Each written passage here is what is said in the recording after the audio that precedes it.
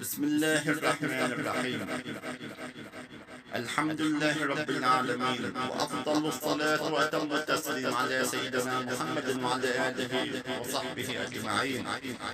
أما بعد قال سيدنا أبو بكر الصديق رضي الله عنه من أنفق درهما على قراءة مولد النبي صلى الله عليه وسلم كان رفيقي في الجنة. وقال سيدنا عمر رضي الله عنه من عظم مولد النبي صلى الله عليه وسلم فقد أحيا الإسلام.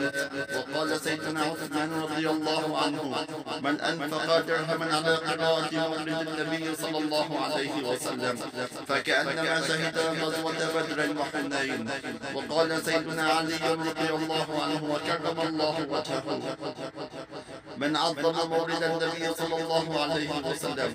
وكان وكان سببا لقراءته لا يخرج من الدنيا إلا بالإيمان ويدخل الجنة بغير حساب. وقال سيدنا الحسن البصري رضي الله عنه وددت لو كان لي مثل جبل احد ذهبا فانفقته على قراءة مولد النبي صلى الله عليه وسلم. وقال سيدنا جنيد البغدادي قدس الله سره من حضر مولد النبي صلى الله عليه وسلم. وعظم قدره. فقد فاز بالايمان. وقال سيدنا معروف الكرخي قدس الله سره. من هيا طعاما لأجل قراءة مولد النبي صلى الله عليه وسلم. وجمع إخوانا واوقد سراجا ولبس جديدا وتبخر وتعطر تعظيما لمولد النبي صلى الله عليه وسلم.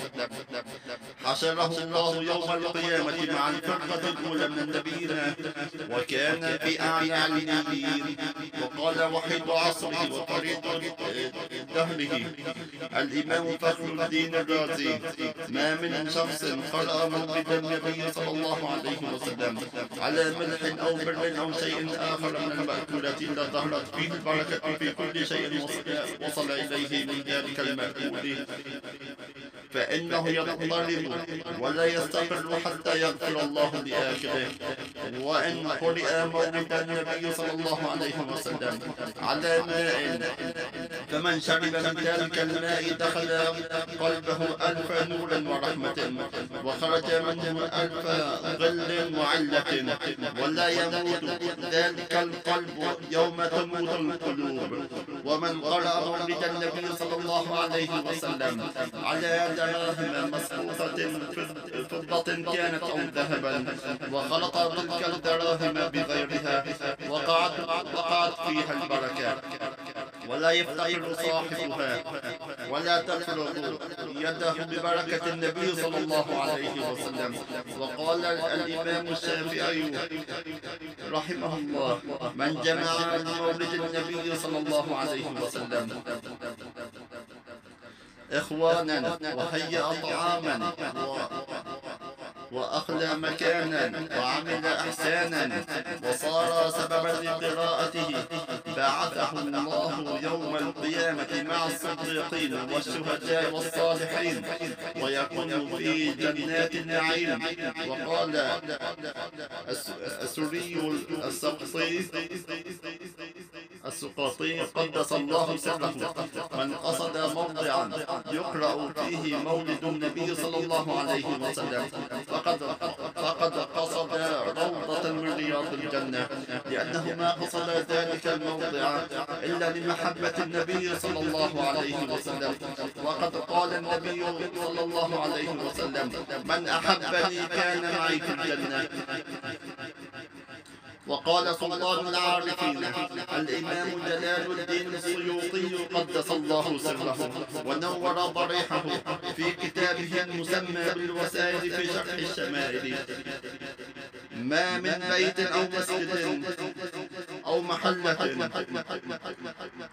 قرئ فيه مولد النبي صلى الله عليه وسلم إلا حقت الملائكة ذلك البيت أو المسجد أو المحلة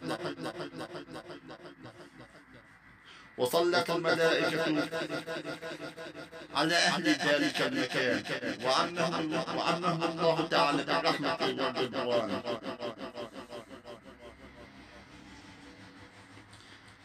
وأما المطوقون بالنور يعني جبرائيل وميكائيل وإسرافيل وعزرائيل عليهم السلام.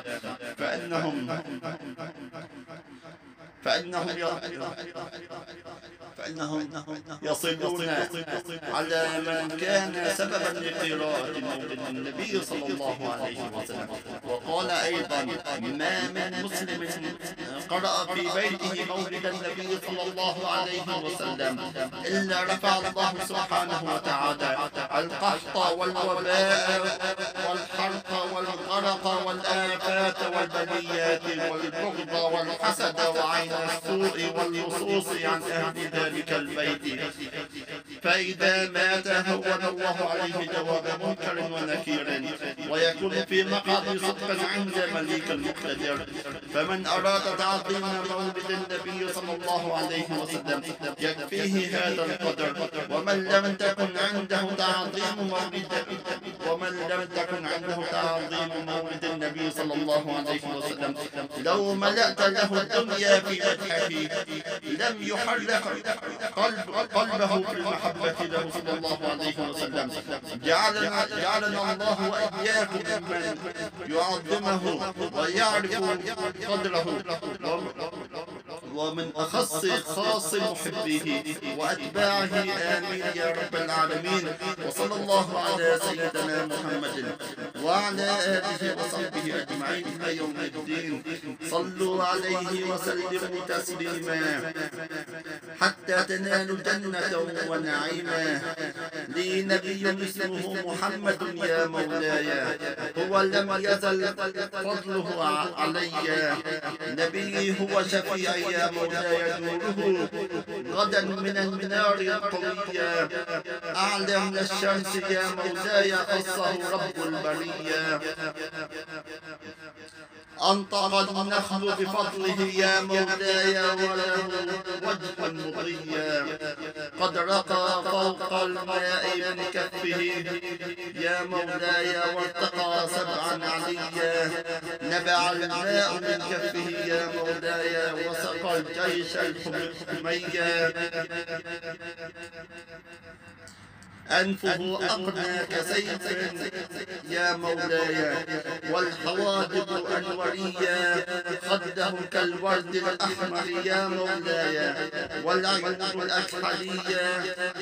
شعره أدعج مثلث يا مولاي شبه ليل أعدمية فمه ضيق صغير يا مولاي شبه خاتم جعفرية جسمه أبيض منعم يا مولاي شبه فضة حجرية.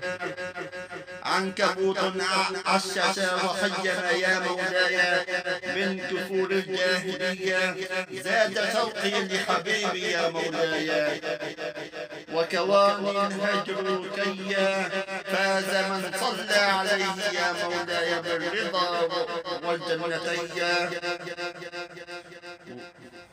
وارض عن أصحابه جمعا يا مولاي على رغب الرافضية.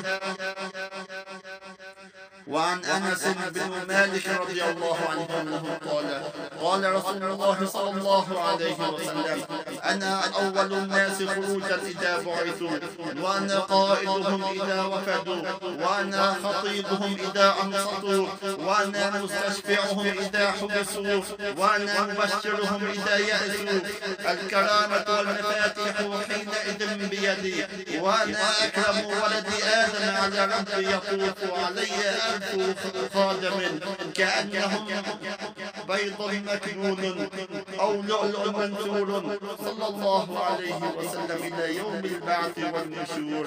وعن جبير وعن جبير بن مطعم رضي الله عنه أنه قال قال رسول الله صلى الله عليه وسلم لي, أسماء أنا محمد وأنا أحمد وأنا الماحي الذي يمحو الله بالكفر وأنا الحاشر الذي يحشر الناس على وأنا العاقب والعاقب ليس بعدهم نبي وأنا الموفى ونبي التوبة ونبي الرحمة. وعن علي وعن علي بن وعن علي بن ابي طالب رضي الله عنه انه قال كان رسول الله صلى الله عليه وسلم ليس بالطويل ولا بالقصير ضخم الراس واللحيه ضخم الكراديس الاكتاف طويل المسربة إذا مشى تكفأ تكفأ فكأنما من صبب لم أرى قبله ولا بعده مثله صلى الله عليه وسلم. وليس في رأسه ولحيته عشرون شعرة بيضاء.